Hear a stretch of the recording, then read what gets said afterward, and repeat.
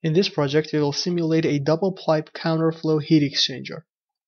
By clicking on the subscribe button, you will be informed about the newest CFD training videos by Mr. CFD. Or if you are watching the training video, click on the Mr. CFD logo and subscribe. Next, in the appeared window in front of the material name, we have to change it from air to water liquid.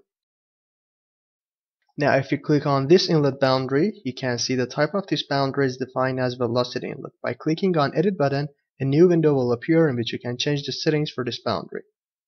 And finally, we double click on run calculations button and in the appeared part under the parameters, we enter the value for the number of iteration and then by clicking on calculate button, the software will start the simulation process.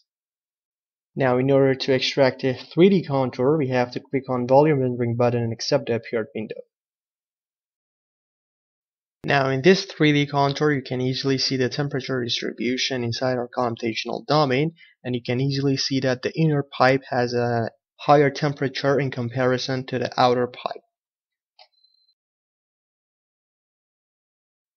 Again, on the low left side of the software window in front of the locations, we select our defined plane and in front of the variable section, we can select our desired variable. After that, by clicking on apply button, the software will show you the 2D contour.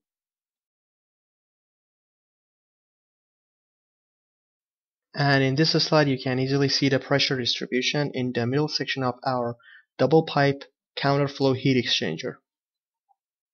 Finally, a summary of different settings and setup that we have used in our project is presented to you in the slide. Obtain the mesh file and also the full training movie by purchasing this product.